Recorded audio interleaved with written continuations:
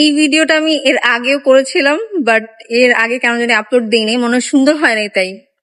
অনেকেই জানে না যে যদি আপনি মেট্রোতে করে আসেন দুবাই মলে তাহলে আপনাকে প্রায় আধা ঘণ্টা বা চল্লিশ মিনিট এরকম হাঁটতে হবে কিংবা এরকম সাইডের মধ্যে দাঁড়ায় থাকতে হবে।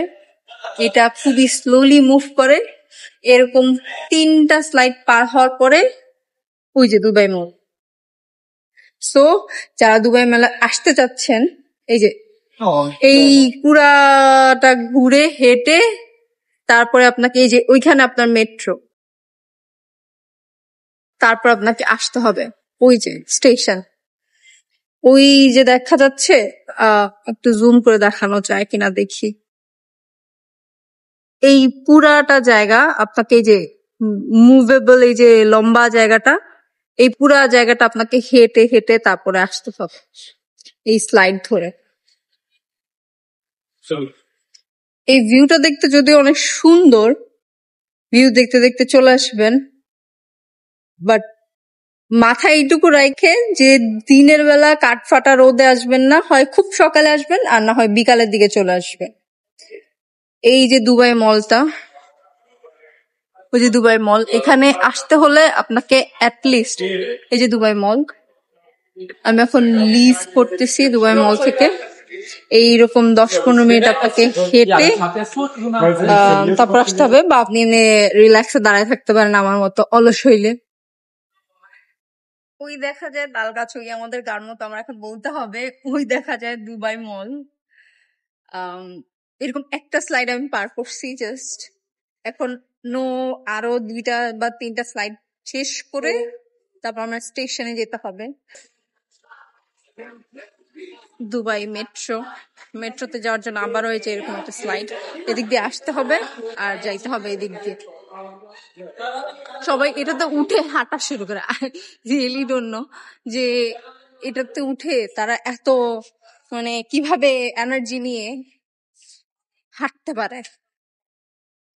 দুইটা স্লাইড এরকম শেষ করলাম। এখন আরেকটা স্লাইড আছে এরকম। আমি জানি না কতক্ষণ লাগবে আর। সিরিয়াসলি যারা দুবাই মলে আসার চিন্তা করতেছেন, তারা অ্যাটলিস্ট দুই থেকে আড়াই ঘণ্টা হাঁটার চিন্তা করবেন। কারণ এখানে ঢুকতে গেলেই আপনাকে অ্যাটলিস্ট পনেরো থেকে বিশ মিনিট যদি হেঁটে হেঁটে যান আর যদি এরকম স্লোলি আমার মতো রিল্যাক্সে আসেন তাহলে তিরিশ থেকে চল্লিশ মিনিট সময় লাগবে। আর ভেতরে তো এত বড় দুবাই মল। আমি মনে করি দুবাই মল হাঁটতে হইলে আপনাকে সাত আট ঘণ্টা ঘণ্টার মতো হাঁটতে হবে। আমি গুগলে সার্চ করে দেখব যে যদি আমি হেঁটে পুরোটা কভার করতে চাই তাহলে কতক্ষণ হবে? আমি জানি না কেউ একদিনে দুবাই মল পুরোটা হেঁটে কভার করতে পারছে কিনা। But hope for the best R Dubai mall কিন্তু আপনি ঘুরতে পারবেন। ফ্রি কেনার জন্য টাকা আপনার নিজের পকেটের থেকে যাবে। আর আমি আসলে এই ছোট ছোট কন্টেন্টগুলো বানাচ্ছিলাম, কারণ অনেকেই জানা না যে এইসব জায়গা খুব কম টাকায় ঘোরা যায়। খুব মজা লাগতেছে এভাবে ভিডিও করতে। বা এভাবে দাঁড়ায় দাঁড়ায় তো ভিডিও করতে খুব ভালোই লাগতেছে। তিন নম্বরটা শেষ হয়েছে। নাও আমি এখন চার নম্বর স্লাইডে যাওয়ার জন্য প্রস্তুত। আমি খুব স্লোলি হেঁটে আসলাম। তারপর আমার প্রায় বিশ মিনিট লাগছে হাঁটার পরেও। এই যে, এটা হচ্ছে চার নাম্বার স্লাইড আমি কচ্ছপ গতিতে আসলাম। এই হচ্ছে দিনের বাইরের ভিউ আর এই হচ্ছে দুবাই মল আর এই যে এখানে হচ্ছে ফাউন্টেন এটা কিন্তু সত্যিকারের গাছ।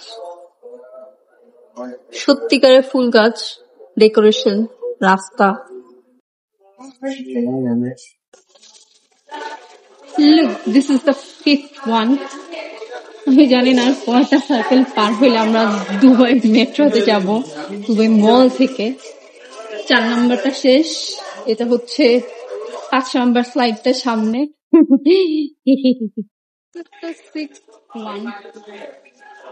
সিরিয়াসলি এর আগে আমি তিন চারটা ভাবছিলাম।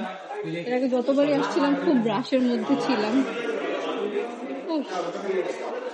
এটা হচ্ছে ছয় নাম্বারটা। আমি ভেবেই টায়ার্ড হয়ে যাচ্ছে। Six slide I think that is the last one. I don't know. I hope it is the last one.